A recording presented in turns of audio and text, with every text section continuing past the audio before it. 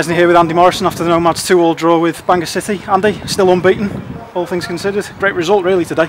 Yeah, listen, um, you know, we'll look back on that and that's a great result. You know, for the quality that they've got in their team. Um, you know, I've just gone and, and, gone and said. I mean, I think that's probably only Bala have got a squad the size of that and the strength and depth that they have.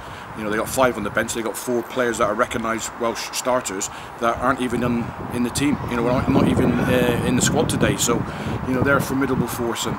Um, we had to fight, try and find a way not to lose the game. Um, you know, the first half, even though there was a little breeze and we had it, um, we, deal, we didn't really stamp ourselves on the game. I thought they were a bit better than us, and it wasn't down to to the structure of, of the team or the shape or, or the tactics. It's purely down to personnel. Mm. You know, that you just can't deal with what they've got. And you know, when we and then we swapped it all around at half time to try and get different kind of matchups, and it worked.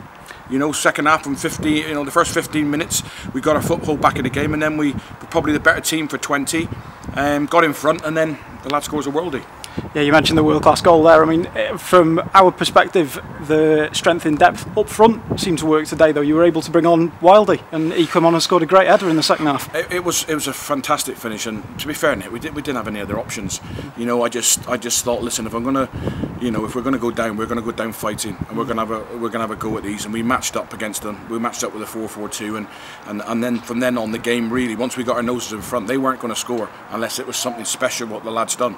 Um, he's come inside, he's hit it from probably 35, and it's like a rocket in the top corner. And, and credit to them, you know, they'd be disappointed if they'd gone away getting beaten, um, and so would we because of our, our courage, our determination not to get beaten, and that's credit to the lads again.